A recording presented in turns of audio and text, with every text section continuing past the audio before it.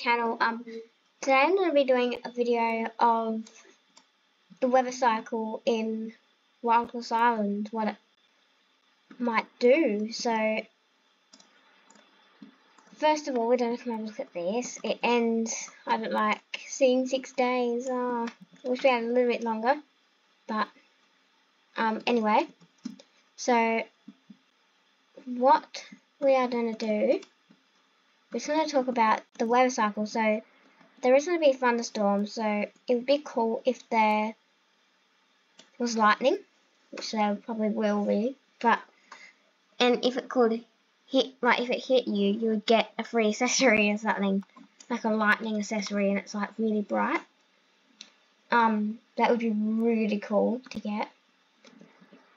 And even flooding in mainland. So if we go up on a hill and we try and make it look like it's flooded by turning our graphics down. So I did do that the other day and came up here and it looked like it was in flood, so we come up here. Okay, so mainland looks like it's looks like it's in flood, so that'd be really cool if there was heaps of rain it could flood. Um even if like like you could go run through it and it was like you could it like pop up with flooding, uh, active events flooding in mainland. So it just comes down, it'll be all flooded, it's like, oh no. So, yeah, that would be really cool. And even rain coming off roofs, but that's probably a bit too much, but that'd be cool. Um, and lightly clear weather. Um, if it gets too sunny, there could be like a bushfire or something. Um, I don't know. That fire, and then you have to get it out somehow, but I'm not sure how that would happen.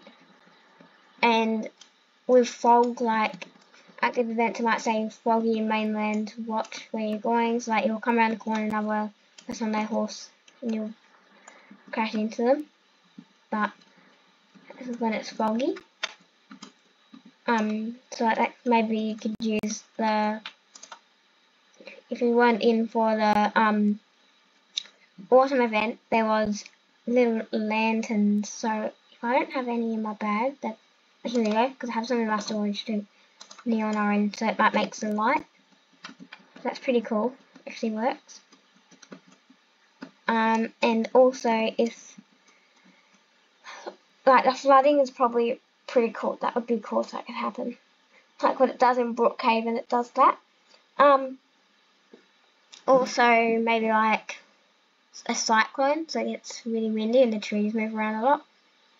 That'd be cool. Um, yeah, but let's leave that up to the creators. That'd be really cool to have like a cyclone.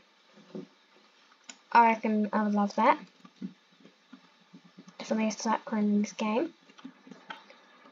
Um, and also I got these two Frisians last night that I've been really wanting to get. Uh, let's have a look at them. This Frisian, so there's this Frisian, and I bred that one, but I traded for this one, which is pretty cool. So, does this guy want something? I don't know. Um, that would be cool too. And even like, if there was like a little river running down from the hills, that'd be cool and you can go fishing in there. Um, yeah, but definitely flooding would be cool. Or even if it's just rain, that's fine. These are still some weather cycles. And maybe like a couple of shelters around mainland. Like range you can hide away, like have your horse. And because they add like little stables that you could just use instead of going to your island. You can have like maybe over here, up here you can have like stables. Pretty cool. And this never used to be here. So like when the autumn event came, it was like this, but then they kept it. I missed the autumn event. That was probably my favourite one. Um, so thanks a lot for watching guys. This was only a short video, but I thought it'd be cool to talk about the weather cycle. Because I talked about the Frisian remakes, I thought the weather cycle would be cool to talk about. Um, make sure to like and subscribe and comment down below what videos you'd like me, what you would like to see me do. And I will try and do them. Bye!